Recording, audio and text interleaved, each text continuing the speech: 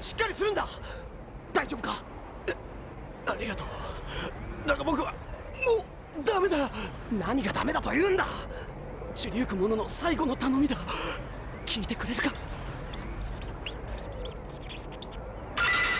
君がアニメ店長になってくれ。アニメ店長？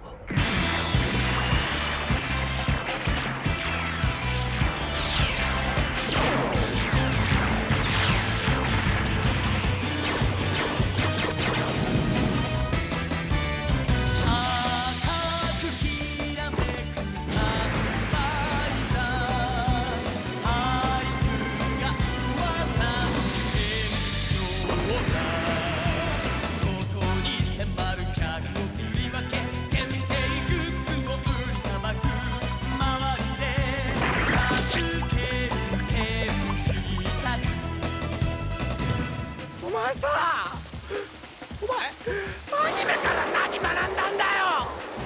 藤山春樹にアニメートジャパニメーション最高ボーイズラップはボーイズラップであってガッツってホモではない。君の街で待ってるよ。子猫ちゃん。物を売るのではない。感動を分かち合っているのだ。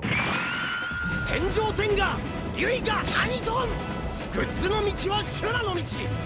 けれども行けというのならかけてみせよう。キャラの道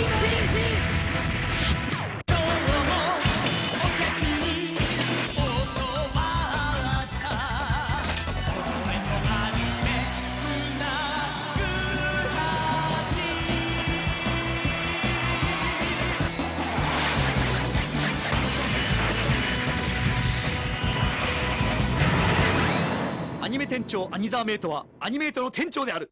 彼を採用したアニメイトはアニメーションの進歩発展を願う愛のグッズショップである。